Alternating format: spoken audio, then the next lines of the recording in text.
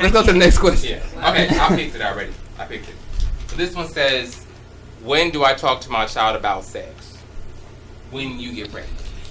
Uh, I think for myself, I have an 11, 11 year old son. We talk about it on a constant because he's a growing young boy, so his body's changing. Yeah, true. His hormones are starting to rise. So I'm like, you know, son, you're 11, your body's going to change. They're doing sex education now in school. So I just try to reiterate, like, if you feel have some feelings, that's normal. But when you do decide to have sex, talk to your mom about it. You know, I know kids ain't gonna talk to you about everything, but I just constantly keep that Mhm. conversation going with them. Like, your body's gonna change. I don't call this private a wee wee. I call it a penis. Like, I talk to him like Mhm. he's I a, an, agree. like an adult because one day he's gonna be a man. Like, Right. ever since he's been a child, I've I've had conversations just to let him know like your private parts are your private parts. If somebody touches them, let me know. If you have Mhm. feelings, let me know. Because I just want to be able to explain to him like how you're feeling, what you're feeling, what you should do if you're feeling that way. I mean, I'm not a man, so I don't know everything he's gonna feel, but as his mom, I, I care about him. Right. I think it's important for us to set the tone in any relationship. So when you're talking about parent child, what you said is is exact is key. Um, you know your child may not come to you with everything, but if you've set the tone for Mhm. that relationship, that kind of relationship to happen, they actually will come to you with everything. And I think um, for to when is the right time? I think it's just when you feel as a parent your child is age appropriate. When you're you not you have to check your own self too, make sure you're ready. Right. And how are you going to talk to them about it? How are you going to present the topic? Because you have to be careful. And I just think yeah, making sure it's um, that they are developmentally ready for that.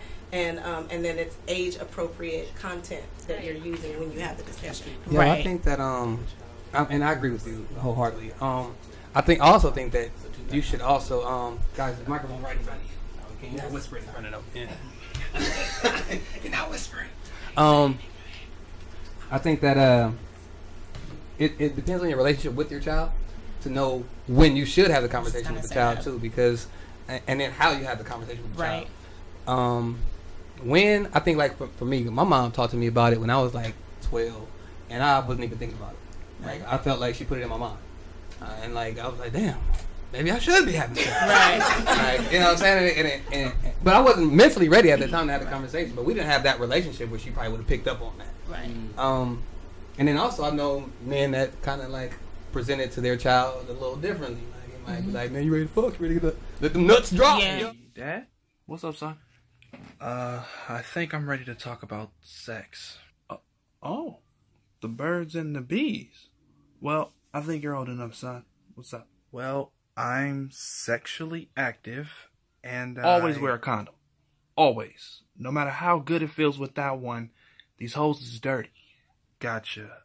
But yeah, um, I'm not really experienced. Oh, well, you came to the right one, son. Hoes used to be sprung on this dick. What you need to know how to do. Okay, well, how do you suck dick? What? You asking for a female friend, right? No, Dad, for me. Every time I do it, I feel like I'm doing it wrong. Every time you do it? Oh, okay. I already lost And you. I like black guys, so the dicks are always really big in my mouth, you know? No, I don't, son. I always gag, and sometimes I feel like I'm not using enough tongue or I'm sucking too hard. How does mom suck your dick? She doesn't, which is why this marriage is gone to shit. Son, I love you, but I don't know how to suck dick. So we gonna learn together. Now I ain't never did this shit before, right? But I seen enough porn to know what I like and to know what niggas like. So what you want to do is you want to start off by licking the head slowly, alright? Tease the nigga a little bit. Give him the appetizer before you give him the meal. You know what I'm saying? All right, um, we're gonna get into our first topic, man. This topic is in our love uh, category, and it is uh, how do you respond to your child having a crush on a student of the same sex? Let's go uh, around the room and let's see who we all have here. Sherika, motivational speaker, life coach. Aaron Henson, co-owner of Black Love Essence. Megan, co-owner of Black Love Essence. Um, Kory, on air, off air talent. Nik, Director of Operations for Chick fil A Long Beach Town Center. Katurah at God is all over it, uh, licensed marriage and family therapist. All right, you guys. So I feel like I got a pretty verse. Uh, crowd here. Um, if you don't have a child, you uh, a child at some point. So, um, the the question is, how do you respond to your child uh, having a crush on a student of the same sex? Um, this is an interesting topic because I think that a lot of parents nowadays are dealing with that more often than probably 20 years ago, 30 Got years deal ago. with fucking Bert and Ernie and shit. Yeah, well, you know, now, Bert, now even know Bert and Ernie is gay. Um, so that was fucking weird. Uh, yeah, I, I don't know. I don't know if that was that was weird. It's like, Nah. they're, they're, they're puppets. They don't have sex. They be in the bathtub together though. They're Grown men. they're puppets. we don't know if they're men or not. So anyway, man, um, what I want to do is I, I want to toss this around to um, let's go to a, a parent here. I want to see how um, our parents will respond to this. Sherry, you are a parent. Um, you have a your, your son is how old? He is 11. 11 years I actually have old. two, 21 and 11. Is Oh, everybody on the okay. panel a parent?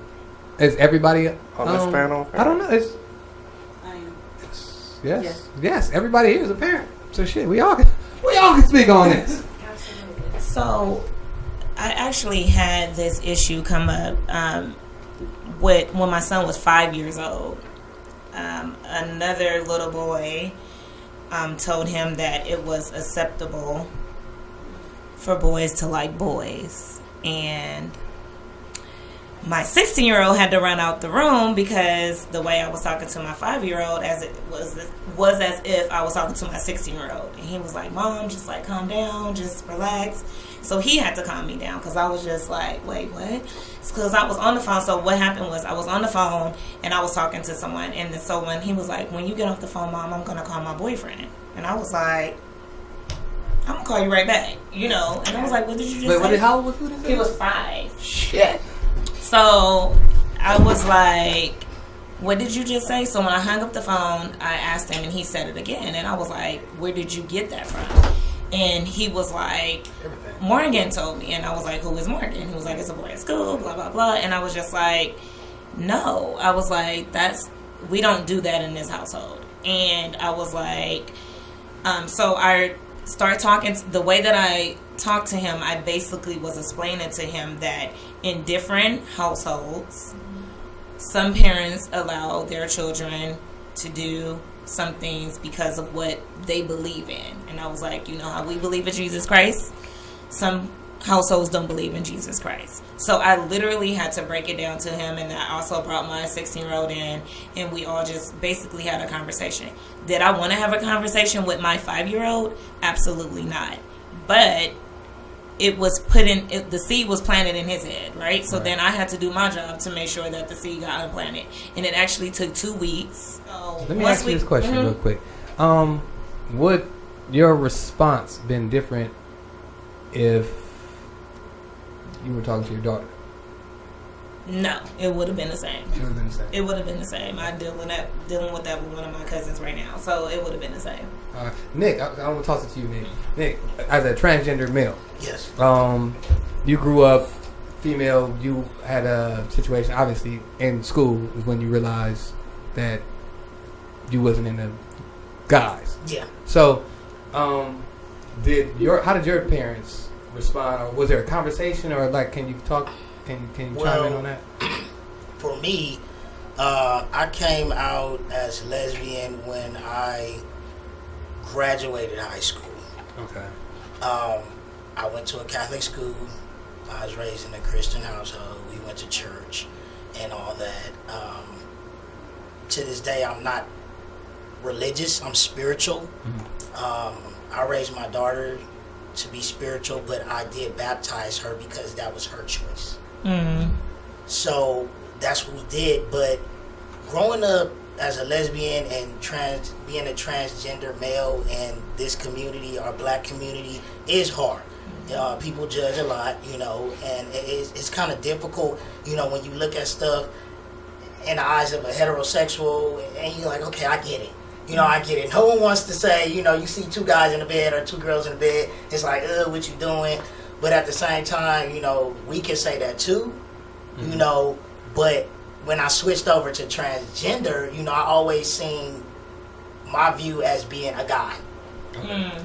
So, for the question, if my daughter came to me and she said that you know she had a crush on the same sex, I would kind of be floored and thrown back, just because not the actions are what's gonna take place, but because of the the hatred, the mm-hmm. judging, Response. the feelings. I mean, I've been in therapy, uh, suicidal thoughts, mm-hmm. depression, just a lot. You know, mm-hmm. just because of the way I wanted to live my life.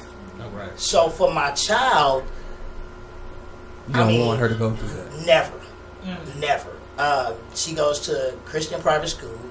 Um, I try to raise her as heterosexual as I can.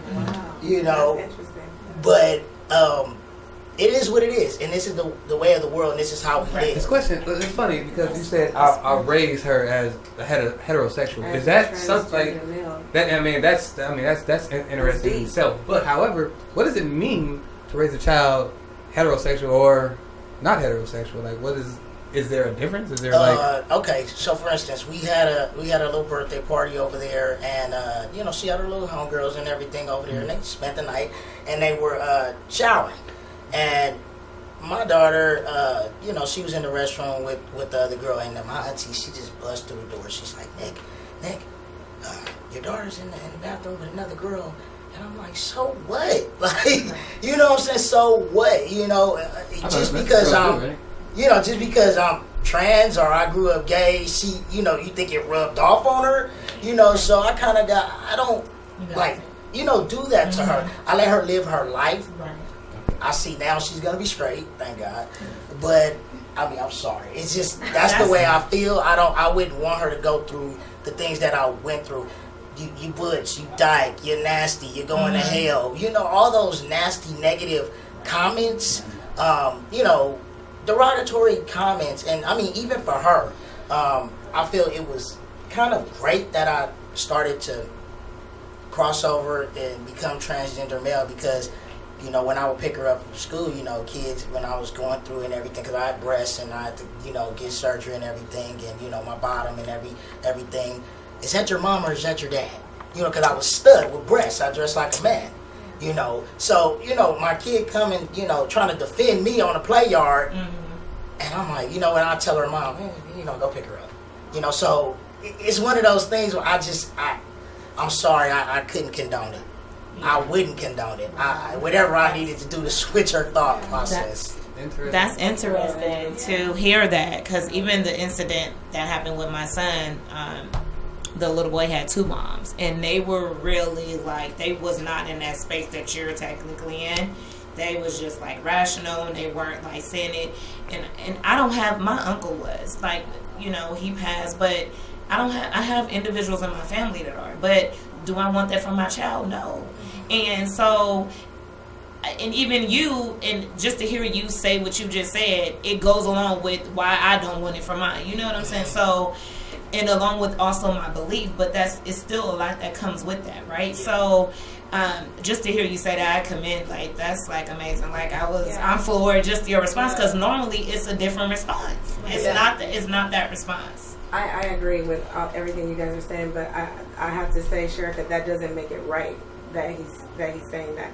I get why you're saying it. So you're Right. not saying it because you don't agree with the lifestyle. You're saying it because of the fear of how she's going to be perceived by the world because you know um, how you've been perceived and what how that's made you feel. Yeah. So you're really, in, in a sense, saying, "I'm I, I want m- my child to conform to soci- societal norms," which is we can't even really say it's societal norms at this time because the, the life is so much more open now. And I would say, um, if I if I'm going to be brutally honest about how I feel, because I have grown up around or in a world where it hasn't been accepted, um, I, I would feel some type of reservation about my my daughter or, or my um, nieces and nephew who I foster coming to me saying that they uh, like the the same sex. I, I know that I would feel some type of way being honest with self, right? However, I think that it is vital that we um,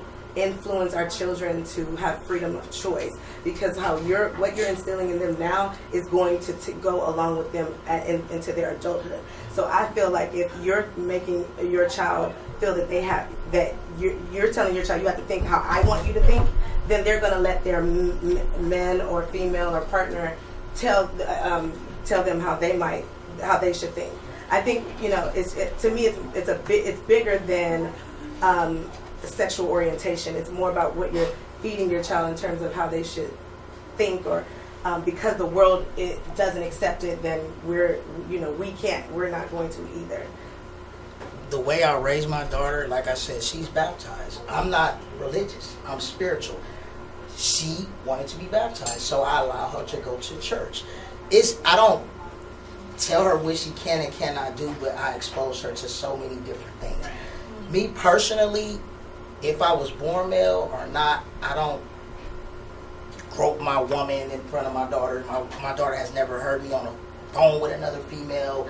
I don't tongue kiss. I don't hold hands in front of anybody's child. I just keep my sexual orientation to myself. If I was born male or not, I don't try to tell her, well, this is the way you're supposed to do it. Mm-hmm. Straight people do it all the time. Like you're supposed to have a mommy and a daddy, or you know.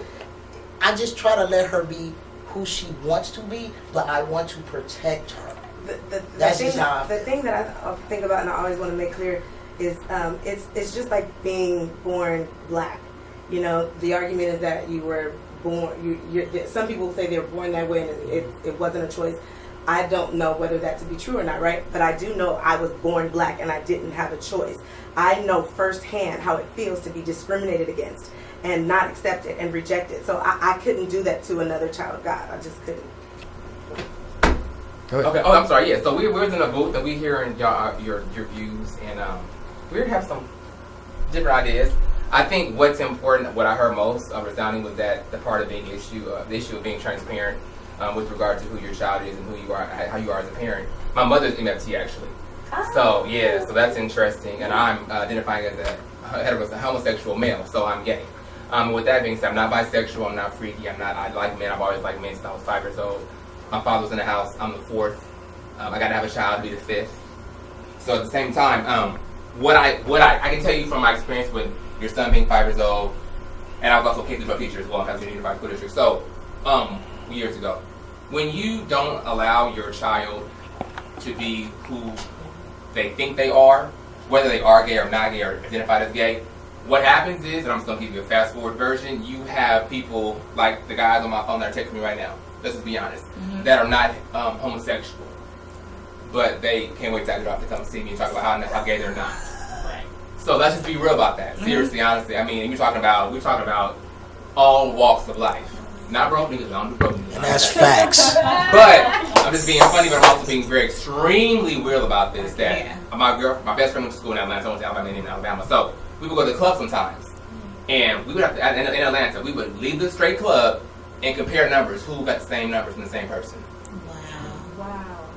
Wow. Seriously. So what I'm saying is, I, I hear what you're saying about your households, Mhm. but being transparent. Right. And no, no offense, but I, I'm, you know what I'm saying being transparent, and, uh, no pun on words, is that honestly you have to be honest with your child and let them be. I, I don't believe women, kids should wear dresses.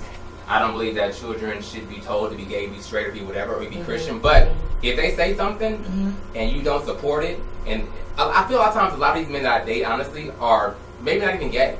It's just so taboo for them that it's hot to have sex late night, or they think that they're doing something wrong. So it's like touching a hot stove or getting high, you know, drinking drinking vodka behind the toilet in the bathroom. You know what I'm saying? Like something you shouldn't do, but you don't want to do it, but you do it anyway. So I feel like sometimes when you're when they're open about it, they can process through it, right, therapist, and they say, you know what? I, don't, I had a guy tell me once, and this is some real shit, and I'm gonna let it go.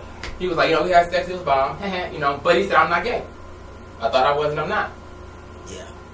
Because he hmm. experienced it, and it's not that I had no bad pussy either. No offense. But it's just that the nigga said he wasn't gay after he experienced the real shit. That's You know a hell of an. saying? I mean, I'm, I'm just saying, being but, but really, like, that's a hell of a fucking commitment to not be gay. Like, Honestly, I, I can, I'll try, some- I'll try a new food.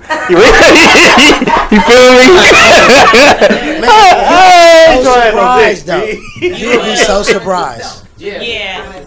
yeah, just being honest with self. I Mhm. think Yeah. um, because again, you're setting the tone with everything. So if you're honest with self from the gate, from a, as as young as you can be, then that that person is going to follow into adulthood and and all that. it's damaging. It can be extremely damaging, and I deal. It's literally, I feel like I'm a therapist. Like I've had motherfuckers Hold like. on, hold on, because it's going to hear I'm like, Oh, okay, okay. Oh, I want, I want to toss this to Kory though, real quick. Kory, because switching lanes, you're, uh, you're a parent of a uh, seven, 18 year old. 17. He'll be 18 next month. Okay. Um, if he was to ever come to you, because I know it's different when you're talking about a, a father to a son. Mhm. So, from a father to a son, how is that response? I mean, it, uh, not only just like, especially in the black community, like that shit is. It's just, I mean, we were raised. No offense, but it was just like that's not cool. Like the fuck. Like honestly, like you said, being honest with myself. I've had the conversation with him, but being honest with myself, it's kind of like being a father raising a daughter and not wanting her to be a stripper. I mm. don't want my son to be gay, but if he is, like I'm not, I'm, I'm smart enough at this point to be able to accept and be there for him. I've dealt with shit with my son, literally, like serious shit. I, some people are aware of it here, but there was depression issues and suicide issues. So I dealt with that and talked to him about that. Like, is is is there something else that you need to tell me? And that wasn't the case. But I mean, it's not something. Like I said, it's not something that I would want personally. But I'm I've progressed enough to be able to like if that was the case, I'd be able to deal with it. Aaron, uh, Megan, you want, you want to chime in on this? Do you have, any, you have children? I do. I have an 11 year old. Uh, another 11 year old. The 11 year olds are in here. Um, initially, it will be shock, of course. Um, 2007. And I don't want to put that into the universe. I'm tired of the tongue. I don't want to put that out there. But if my son was to come to me, I would have to accept it. I have to love him. That's just, I'm not going to disown him because of who he he likes or loves. We're going to have a talk. And why do you feel this way? Why do you think you feel this way? Um, somebody that I'm very close to, my cousin, who's in his life consistently, is a lesbian. She has a girlfriend. They're around him. So he knows about same sex relationships and stuff. So I would have to love him. I'm not going to disown him. I'm not going to tell him it's wrong because in this day and age, they're broadcasting it just as much as sex. And that's the other crazy part about it is a lot of it has, I think, a lot of everything in regards to having kids has to do with gender. Because I don't think I'd be as upset if I had a daughter and she told me, you know, because I don't, I don't care. I, I definitely, Yeah. I, I definitely think that it is different versus male versus female. Um, we were actually talking about this earlier in, uh, in the studio, and I'm like, well, most people are okay with the idea of two women kissing each other on TV Right. Right. versus two men kissing each other. Then everybody's like, what the fuck's going on? So, I mean, an example is we've been watching women kiss on TV all day long, all, for, for years. It's Soon accepted as- for women to, to, to soon up- as Empire- open up in college. You soon know as what I'm saying? Empire, soon as Empire came out and just and and oh oh boy was just gay and Yeah. kissing every scene, everybody was like, "What the fuck's going on? What's wrong on TV?" It's like the world was coming to an end, right? Everybody remember that shit? Mm-hmm. But just because your child is liking the same sex does not change the person who they are. They're still, I- your- I agree. they're still that happy, go lucky, whoever that your child is. It doesn't change who they are as a person. I think more parents should talk to their kids about same-sex Mhm. relationships Mhm. because, like he was saying, you will be surprised how many straight females will be in my DMs or hitting me up, or how many straight females, you know, sorry, I done fucked, you know, one night stands or whatever, and they have boyfriends. I mean, I had females just married or whatever, and they just wanted that relationship, and I have straight guys like, "Look, look at this nigga do for you with that rubber dick and all that. The same shit you can do for her, bust her. You know what I'm saying? Straight up. You know? And it's like, I feel like if it was kind of open more and not taboo, Yeah. then people wouldn't want to sneak around Right. and creep Yeah, around and be like, ooh, ooh, that's a trans over there. I, I wonder how big is his dick? Or, you know, all this shit because of the taboo freaky shit going on. Right. When I'm just trying to live my life and be regular, but I go to the GS or whatever and I got more straight females. Now, let me ask you. Trying Let me ask you. gay. Is- is- I'm sorry. I'm sorry. Oh, I got a question. I, it was- it I was gonna say just because, because I think. So, do you think that off the bat women know that you are? Because I didn't know that until you just said it. I So I'm just saying, do you think that you, you pull them because they don't think that? Because I literally, until you said, when he asked you that question, I was sitting there like, "I was just asking what I thought. So I'm just being honest. Do you think that off the bat they think that they know that? Well, now So I'm, I've been transitioning for almost two and a half years now. Um, I take testosterone, but pre, I, it was still the same. Okay. You know, when I Okay. had breasts and everything, you know, it, it was like still the same thing. But now, of course, I'm open and honest. Okay. You know, if a female do come up to me, I, I let her know, you know, I'm trans male, you know, just to let you know. I identify as straight male, but I still want to let females know.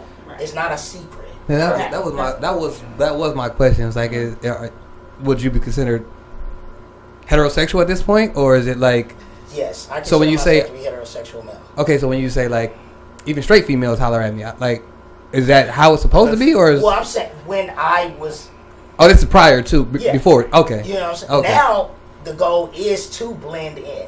Gotcha. But before, you know, lesbian, I have breasts, I can't hide that, you know. Right. Now the goal is to look as masculine as possible. But I think that goes back to the gender thing too, because what he said, who- you were like, uh, you said you would be surprised how many straight females.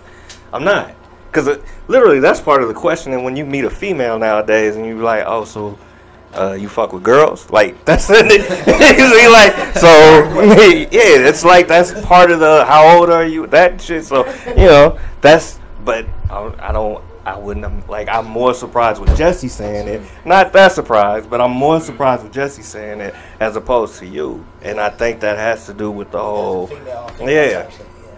And I just want to chime in. I agree with what Nik is saying. To be open and honest, I have an 11 year old son too, and he does he doesn't have a crush on the same sex. He's heterosexual, but just to have the education and the talk with your child, like you know, whatever you choose in life is your choice. But you know, there are different. There are other things out there that you can choose. So I would more so be educating my son. I would still love my son if that was his choice. But at the end of the day, I think it's more about educating because social media is exposing children to all things. Mm-hmm. And if we don't talk about it, then you never know if they're holding something inside that they won't tell you about if they are having a crush on the same sex. So to me, it's just more about being open and honest, like Nik was saying. Yeah, I agree. With you. Social media. Nigga, you're not closing. You Not don't call it close. I was to say that even with social media, a lot of the people that struggle with sexuality are over the age of 35 years old. So we're talking about people who were here before MySpace or MySpace. I'm 38. So MySpace, what else was out there before? Black that? Planet. AOL, Black Planet. These people are not turning gay from YouTube and Pornhub. Like they've been gay for a while. They've been, you know, in, uh, entertaining certain lifestyles for a while. So even with, I'm telling you, like, if you, I mean, you know, it's hard to say things to people that don't know the world because it feels like it's underworld where it's like vampires. And But a lot of it- you know what I'm saying? Like, just have sex. yeah, and the moon do comes out and drugs. everybody turn gay for a second and then go back home. And, but it's like you literally, all like I'm at the gym today, 24 hour fitness, and I'm like, you would think you at a gay club. No. And women wouldn't know unless they know, but like men is exchanging numbers in front of women and they talk you hugging a man and he's talking to somebody behind you and giving him eyes. I'm looking like this bitch has no idea a nigga about to fuck him in the bathroom. Like real shit. And these are not children, these are grown people over 35, 40 years old. So like if we need to be honest with ourselves Mhm. about who our partner is, yeah. watching their actions, asking, yo, are you into men? Have you ever have you ever sorry, you ever been into men? You know what I'm saying? But that shouldn't be the question nowadays for It straight should be, females. but are, you can ask them. But are they really? They're not going to tell See, the that's the truth. thing, and though. what you Probably just not. said, and what you said is accurate when you were speaking about you have a phone, phone number. You probably text somebody that I know. I'm just Yeah. speaking it because it's true. I used to have a friend, and when we went to school, he used to just come back and tell me stories like.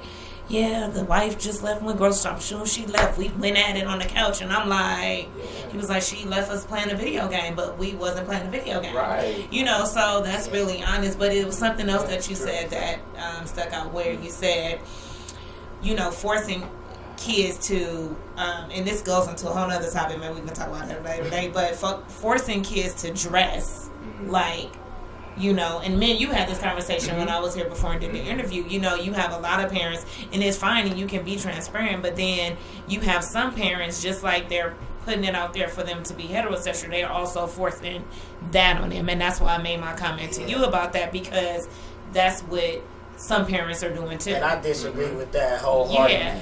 I don't And- think you should put Yeah. kids in dresses and do all that, but I do think the conversation should happen Right. as young I as agree. possible. I, I definitely. This is the thing, guys. When you, when you ask how do you respond to your child um, having a crush on the same sex, it's really about your relationship with your child. It's really about being a, a parent and and being able to have that communication, open line of communication with your child. Um, truth of the matter is, either you raise your child or the World Wide Web will. With that said, though, we're gonna take a break. We'll be back more relationship, love, and religion.